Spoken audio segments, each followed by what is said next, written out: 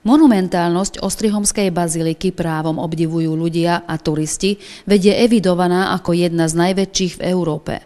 Mesto navštíví viac než milión turistov ročne, ktorých priláka jednak bazilika a z druhej stránky pozoruhodnosti mesta. Tu je napríklad najväčšia cirkevná pokladnica v štáte, kde sa nachádza významná zbierka z celosvetového hľadiska. Ostrihomské kresťanské múzeum je, je najbohatším múzeum v štáte a tretím najbohatším na svete. Svojtinskí školkári navštívili Hradné múzeum, aby sa s pomocou rozprávky a dramatickej pedagogiky oboznámili so starodávnym svetom. Cieľom Evy Sakálaš v programe Čigabiga Bazilika bolo, aby si deti zapamätali mená kráľa Štefana, kráľovnej Gizely a princa Imricha. Je dôležité, aby deti spoznali atmosféru múzea už v malom veku. Múzejná pedagogika priblíži múzeum z úplne inej stránky ako zvyčajná návšteva múzea so sprievodcom, lebo v rámci týchto programov s deťmi sa hráme a rozprávame. Je to skrátka interaktívne. Je to hravá a voľnejšia forma návštevy, ktorá ich môže v budúcnosti navodiť na častejšiu návštevu múzeí. Cieľom týchto programov je, aby z detí vyrástli vyrástli aktívni návštevníci múzeí.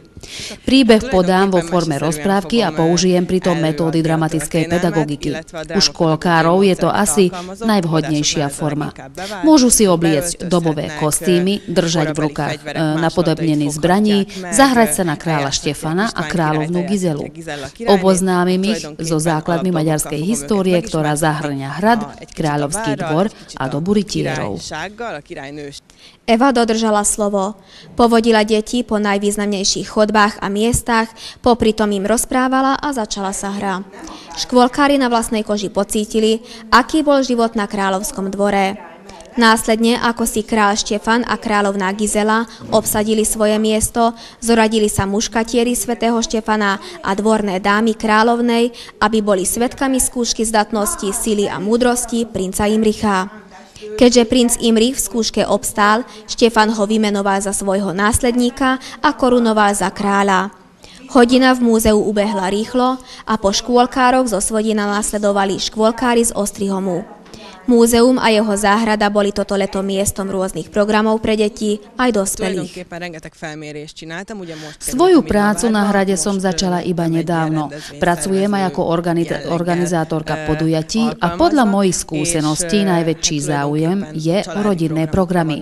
Je potrebné, aby program bol zaujímavý pre rôzne vekové kategórie, teda od 0 až do 99 rokov.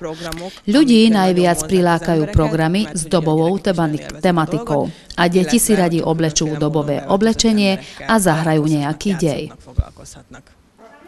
Z návštevy múzea boli nadšení aj Vivien Volter a Daniel Ando.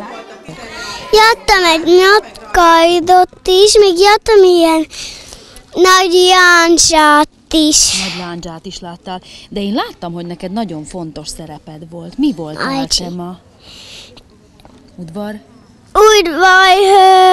Udvarhölgy. És hol vagytok ti tulajdonképpen? Milyen helyen? Mm, múzeumban, de az egy igen nagy kastély volt. És a kastélyban kik, kik szoktak lakni? A királyné, még a királyfi. És most volt itt király meg királyné? Nem.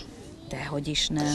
Ti eljátszottátok, nem? Ja, igen. Uh-huh. És még mi mindent próbáltál ki? Azt a súlyos lá- láncinget meg, meg, megfogtad? Egész lánysereg. Egész lánysereg megfogta? Milyen volt? Nehéz volt? Elég nehéz. Igen? És Én a... fogtam kardot. Igen? És milyen kardot fogtál? Mekkorát? Mutasd meg. Ekkorát. Karinka? És jöttünk egy nagy kalapácst is. Uh-huh. Akkor jól érzitek itt magatokat, ugye? Nagyon. Okay. Začiatkom jesene v Hradnom múzeu sa všetky interaktívne programy skončili. Ale pracovníci už teraz rozmýšľajú, ako by mohli vniesť život do múzea, aby návštevníci okrem poznatkov získali aj zážitok. Na jar Hradné múzeum znovu otvorí svoje brány a návštevníkov očakávame interaktívnymi programmi. Budeme mať ľudí v dobovom oblečení, rytierov, kráľovné a pokúsime sa každý druhý víkend prilákať sem aj turistov.